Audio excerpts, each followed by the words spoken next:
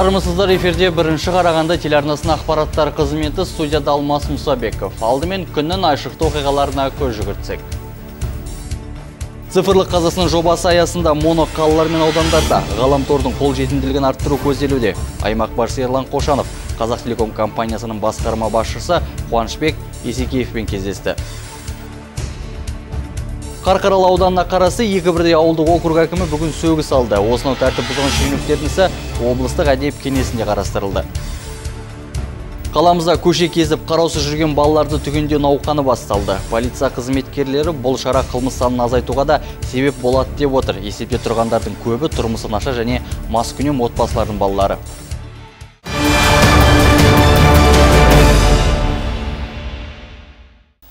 Аймақ басшысы Ерлан Қошанов Қазақ телеком компаниясының басқарма басшысы Қуанышбек Есекеевпен кездесті. Жиын барысында мектептер мен медицина мекемелеріне кең жолақты интернет желісін тарту бойынша мәселелер талқыланды. Енді сандық технология аясында моно қалалар мен аудандарда ғаламтордың қолжетімділігін арттыру көзделуде.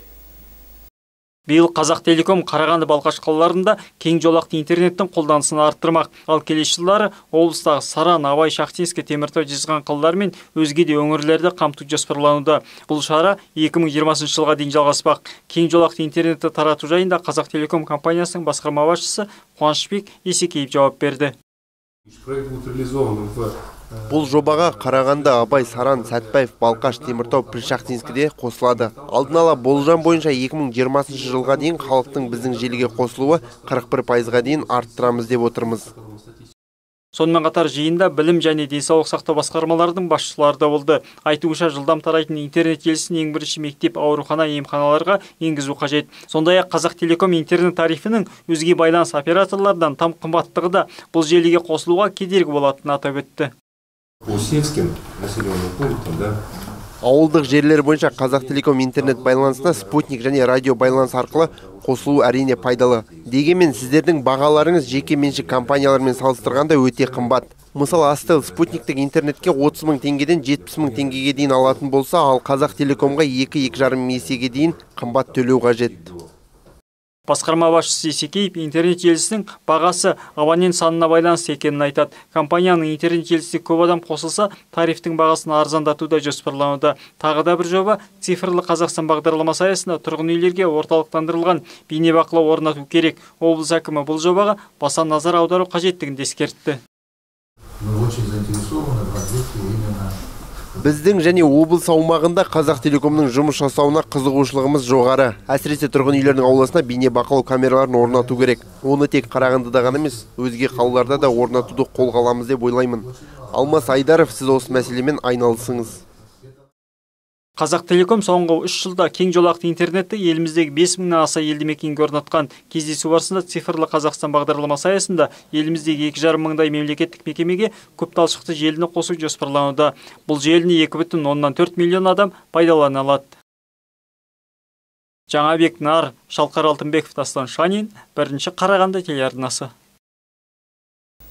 Қарағанды облысының Қарқаралы ауданына қарасты екі бірдей ауылдық округ әкімі бүгін сөгіс алды. Қырғыз ауылдық округының әкімі Бауыржан Қапашев мас күйінде көлік жүргізген.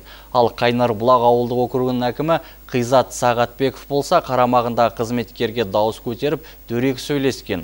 Осынау тәртіп бұзған шенеуніктерге облыстық әдеп кеңесінде тиісті жаза тағайындалды. Сондай-ақ жиын барысында күн тәртібіне сәйкес 9 мәселе талқыланды. Қарқаралы ауданының Қайнарбұлақ ауылдық округінің әкімі Қизат Сағатбеков әдеп нормаларын сақтамаған үшін айыпталды. Жиын барысында анықталғандай жұмыс барысында жетекші маманға дауыс көтеріп, әдепке сай емес сөз айтуға жол берген. Қизат Жаукенұлы дөрекілік танытқанын мойындады. Тексеріс барысында айтқан менің бәрін мойындаймын. Енді ол ненің ішінде сондай болып қалды. Енді бұндай болашақта жасамауға сөз беремін басқа айтарым жоқ. Әдеп кодексінің талаптарына сәйкес мемлекеттік қызметшілер жалпы қабылданған моральдық әдептілік нормаларын сақтауға әріптестермен қарым қатынаста сыпайылық пен әдептілік танытуға сонымен қатар орынсыз мінез құлық фактілеріне жол бермеуге тиіс. Орын алған келеңсіз жайтқа әдеп кеңесінің мүшелері сөгіс жариялады. Шешімнің жобасы ретінде біз енді бұл кісіге не ұсынасыздар тәртіп жауапты выговор сөгіс. Келесі тәртібі қаралған шенеуіні қырғыз ауылдық округінің әкімі бауыржан қапашев. Тәртіп сақшылары айыпкер азаматтың көлікті ішімдік ішіп алып жүргізгені үшін әкімшілік хаттама толтырған. Қызметтік тергеп тексеру барысында қапашев әдеп нормаларын бұзу фактісін мойындады. Мерседес бенц маркалы автокөліктің тоқтатылған жерге және аталған автокөлікті қапашев масан күйінде жүргізгендігі анықталды. Аталған факті бойынша қапашев әкімшілік құқық бұзушылық туралы кодексінің 608 бабына сәйкес әкімшілік жауапкершілікке тартылып соттың қаулысымен көлік жүргізуінің құқығынан үш жылға айырылған. Әдеп кеңесінің мүшелері бұл жолы айыпкерге қатаң сөгіс жариялады. Тәртіп жауапкершілігінің түрі бойынша шешім анықтау керек болады. Бұл жерде енді жаңа кісіге сөгіс берген болса бұл кісіге енді бір кемінде қатаң сөгіс болу керек шығар енді. Вот ондай болса мен сол қатаң сөгіс ұсынамын сол қатаң сөгіске дауыс беру сондай ақ келесі мәселе білім саласында орын алатын сыбайлас жемқорлық фактісі. Ағымдағы жылы аталмыш департамент пен білім басқармасы арасындағы бірлескен бұйрықпен бекітілген жұмыс тобы білім беру ұйымдары жұмысындағы сыбайлас жемқорлыққа қатысты мониторинг жүргізген. Талдау барысында агротехникалық колледжде 11 басқа колледждерде 5 мүдделер қақтығысы анықталған көрінеді. Кадр мәселесі екіншіден тест аттестация мәселесі. Соның ішінде айтып кететін болсақ кадр мәселесінде біз көптеген кемшіліктер анықталдық. Оның ішінде мүдделер қақтығысы.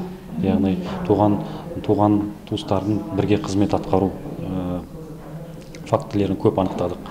Мысалы ана қарағанды агротехникалық колледжінде 11 адам 11 факт анықталды. Яғни туған туыстардың жұмыс істеуі. Заң бойынша тікелей заң айтады бізге. Тікелей қарым қатынас болмау керек дейді. Бірақ колледждердің барлығында тікелей байланыс жоқ. Алайда олардың барлығы мүдделер қақтығысына әкелуі мүмкін. Облыстық мемлекеттік қызмет істер және сыбайлас жемқорлыққа қарсы іс-қимыл департаментінің басшысы жандос сәрсенов мемлекеттік қызметшілердің этикалық кодексінің нормаларын бұзу тек сөгістер мен жазаларға ғана емес жалақысына да әсер ететіндігін атап өтті. Еске сала кетсек ағымдағы жылдың басынан бастап жалақы екі бөліктен тұрады тұрақты және айнымалы. Айнымалы бөлікте мемлекеттік қызметкерлерге бонустар төленеді. Алайда этика нормасын бірнеше мәрте бұзғандар бұдан айырылады. Айжарқын сейсен аман қожанов дастан шанин бірінші қарағанды телеарнасы.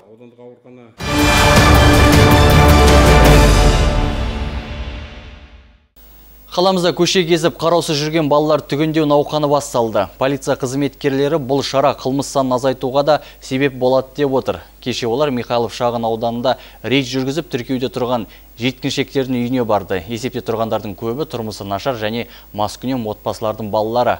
Михайлов полиция бөлімі бойынша ондай жанұялардың саны 32 страшном состоянии были. Вас трясло. Вас трясло, вы даже, вы даже не смогли встать. Понимаете? Вы не смогли встать. Ваш муж там лежит, тоже встать не может. Наталья Панкратова төрт баланың анасы күйеуі шайдан бері аяғын сындырып балдаққа байланып отыр. Десе де ерлі зайыпты ащы сусынды жақсы көргендіктен балаларының қайда кіммен жүргендерінен де бейхабар. Үлкен қызы мен ұлы мектеп қабырғасына бармақ түгілі өз үйлеріне де қонбайды екен. Тіпті ұлдарын Керне кентіндегі арнайы мектепке жіберген. Алайда тәртібі нашар болып, басқа балаларға әсерін тигізгендіктен қайтып келіпті. Ал үшінші қызы күні бойы көршісінің үйінде жүреді екен Для маленького ребенка еда. Нет, это не для маленького ребенка. Хорошо, покажите мне рожки. Да. Нет, мы же Вон спрашиваем мясо для ребенка, что есть у вас. Хорошо, есть у вас рожки, картошка, макароны, что есть это продукты первой необходимости, которые можно каждый день?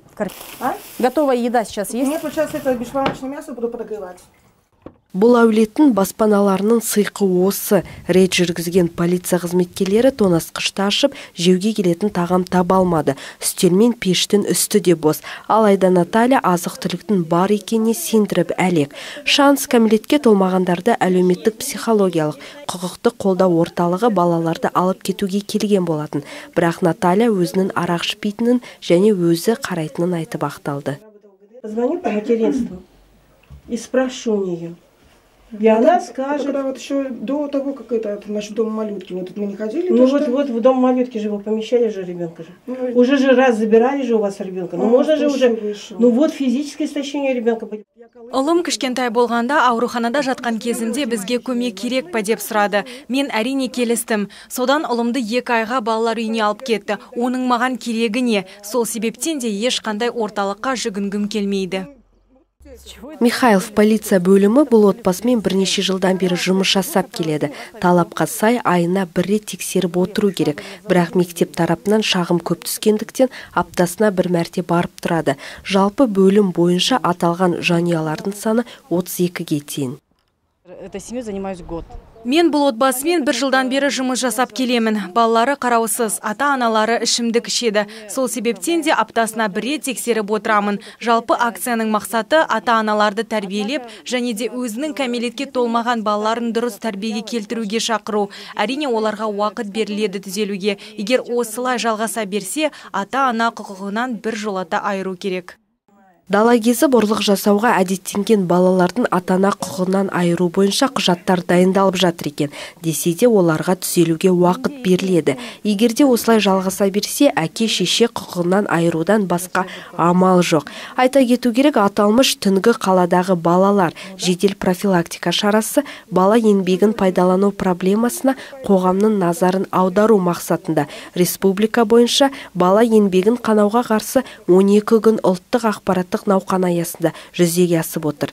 Ондағы мақсат кәмелетке толмағандар қылмыстарының алдын алу қылмыстық топтарын анықтау және оларды жою құқық бұзушылықтар немесе басқа да қоғамға қарсы іс әрекеттер жасауға тартатын адамдарды анықтау.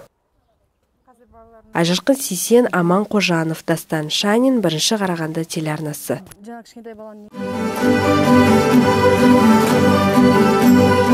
жаңа ертеде қазақ хандығында хан мен ханым болыпты. Олардың үш ханшайым қыздары болыпты. Бір кезде ханшайым қыздарға жауыз сиқыршы инфекция қарғысын салды. Бірақ хан мен ханым таңғажайып вакцина балаларын аурудан құтқаратынын білді. Міне ертең біз әдеттегідей екпе жасатуға барамыз. Қазір ұйықтайтын уақыт келді. Қазақстан республикасы денсаулық сақтау министрлігінің салауатты өмір салтын қалыптастыру проблемаларының ұлттық орталығымен дайындалған.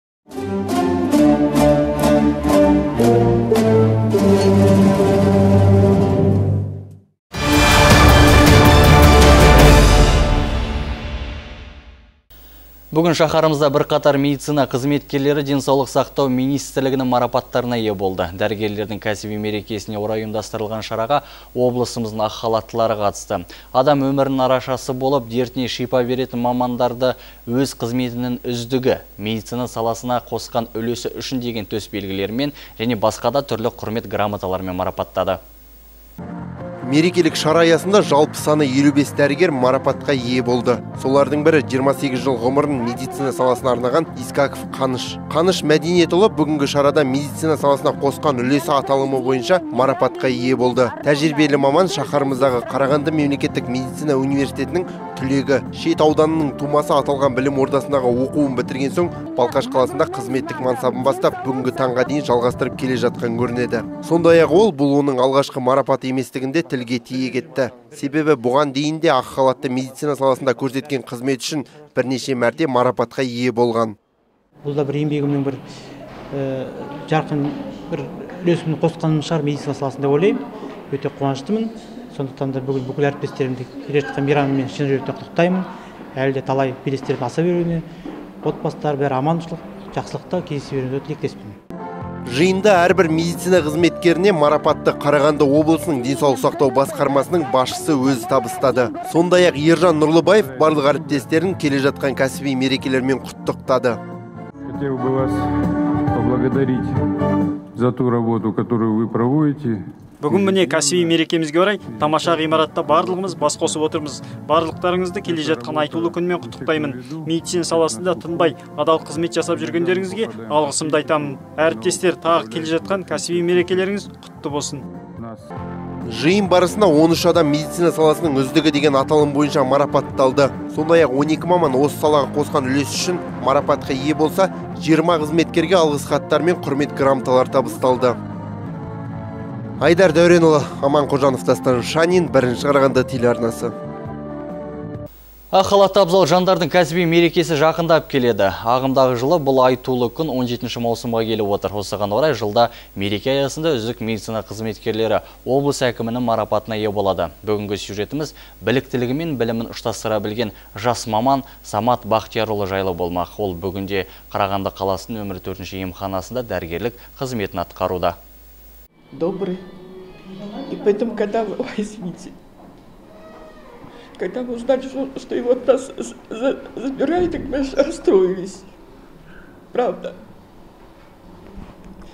Вот, он относится очень, как говорится, чуткий к людям, всегда и поможет. Надежда Ивановна дәрігер Самат Бақтиярұлының басқа бөлімге ауысып кеткен үшін көзіне жас алып қимастығын осылай жеткізді. Себебі бірнеше жыл қатарынан Надежда Ивановна Самат мырзаның тұрақты емделушісі болған көрінеді. Осыдан ақ ақ халаттының қандай жан екенін білуге болады. Қарияның сөзінше Самат өте білімді әрі білікті дәрігер. Әрдайым көмек қолын созудан жалықпайтын жан екен. Сондай-ақ Надежда ханым Самат Бақтиярұлын тек мықты дәрігер ретінде ғана емес, жалпы адами тұрғыда өте ақкөңіл, жақсы жан деп сипаттап берді.